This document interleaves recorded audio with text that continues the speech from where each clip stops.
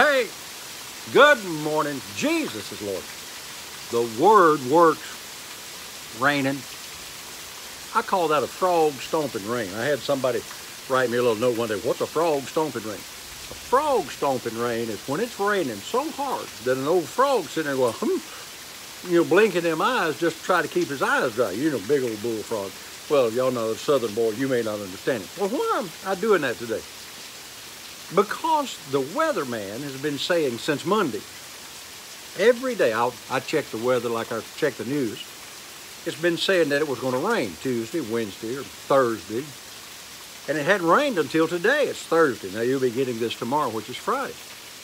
But I wasn't shocked when I heard the thunder and I saw the rain.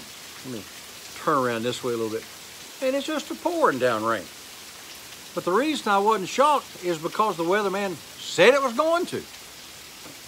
So I didn't go and go, Pat, it's raining. Oh, dear God, it's raining. I've never seen anything like that. It's raining.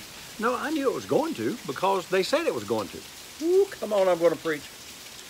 Jesus said, What things soever you desire when you pray, believe that you receive them and you shall have them. So you ought not get excited when it shows up because he said it.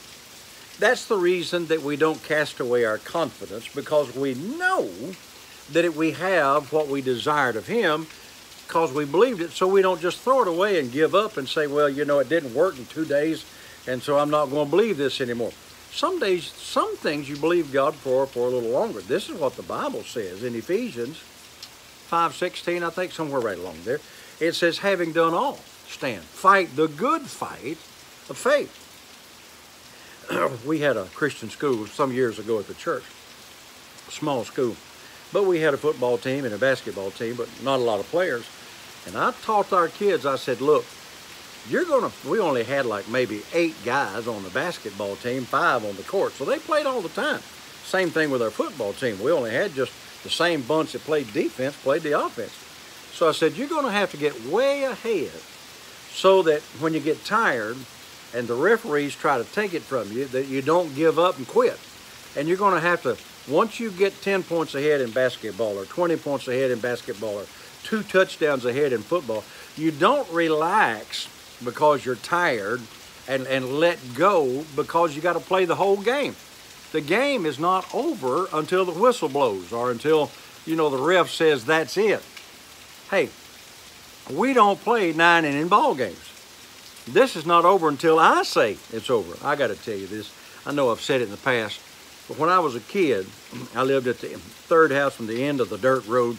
I was the third house from the end. Just a bunch of kids lived down there, you know, with their parents. We'd get out and play what they call sandlot uh, baseball, but we played cow pasture baseball uh, up in a little cow pasture. We'd get out all two or three times a week. But listen, it was my ball. I was the only person in the neighborhood that had a ball. Y'all might remember it, the old baseball that was wore out and it had black tape all over it. But I had a ball, black taped up ball. Only one. And I had a bat. The only bat in the neighborhood. I was not a very good player. In fact, I was usually the last one that was chosen on a team. But watch, it was my bat and it was my ball. And therefore, when I came up to bat, they better let me on or I'd take my bat and ball and go home. Saints, it's my bat and it's my ball, and my Father God is the umpire, and so I win.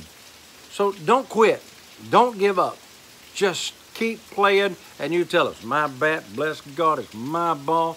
God's the umpire, and I win this thing. And if you don't give up, God won't give up. Jesus won't quit if you don't quit. And what things soever you desire, you'll have. And just like it went to raining, and now the rain's letting up, you know the sun's going to come back out. It'll rain again because I say it will. Well, I say blessings are raining on me and you in the name of Jesus. So have a great day.